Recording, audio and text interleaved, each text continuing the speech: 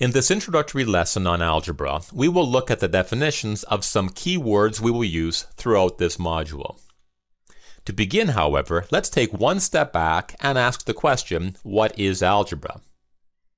Now to make this question less open-ended, I'll ask a more specific question. What does it mean to say that 3x plus 7x is equal to 10x? This is the type of algebraic statement you would have seen in school, and most students will accept the fact that 3x plus 7x does equal 10x. But what does it mean to say this? Well, first we should recognize that the x's here are serving as placeholders that represent numbers. What numbers are they representing? Well, in this case, they are representing every number imaginable. So 3x plus 7x has no particular value, and neither does 10x. The value of 3x plus 7x and the value of 10x depend on the value of x. Now, if we assign a value to x, say x equals 2, then we can evaluate 3x plus 7x by replacing each x with 2. When we evaluate the left-hand side here, we get 20.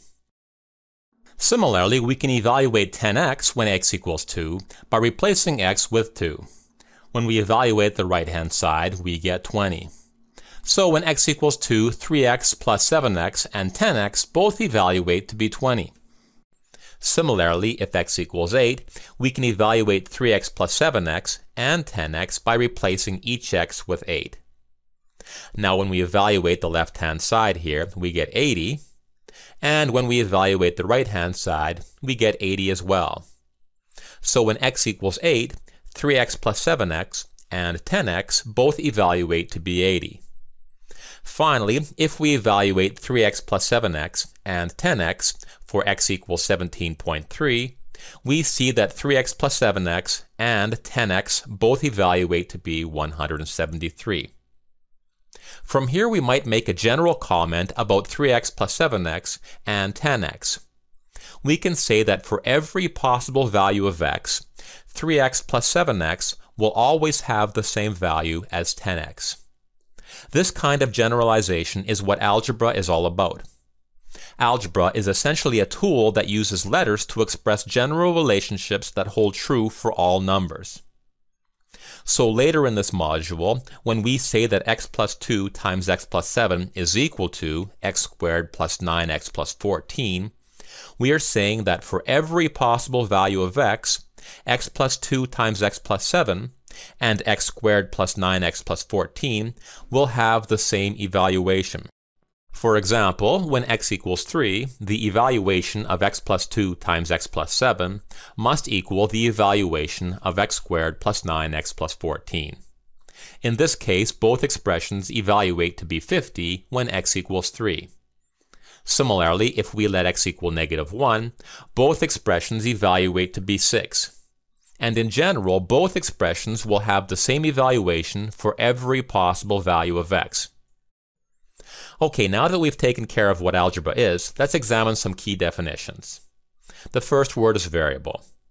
A variable is any symbol, typically a letter, that stands for either a single number or all existing numbers.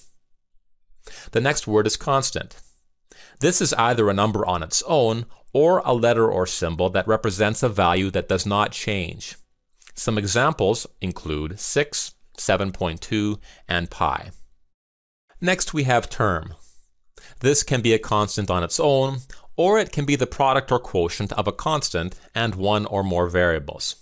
Some examples include 14, 5x, 8xy cubed, and so on. Now a coefficient is the constant portion of a term. For example, 6 is the coefficient of 6x, and 2 thirds is the coefficient of 2y over 3.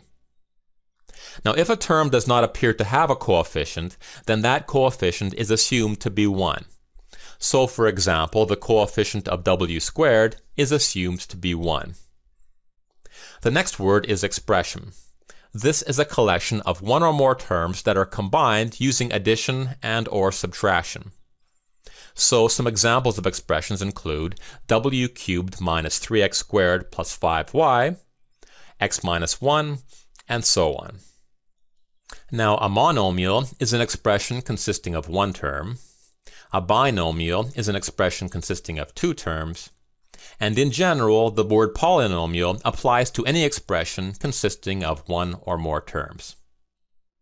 Okay, that concludes this introductory lesson.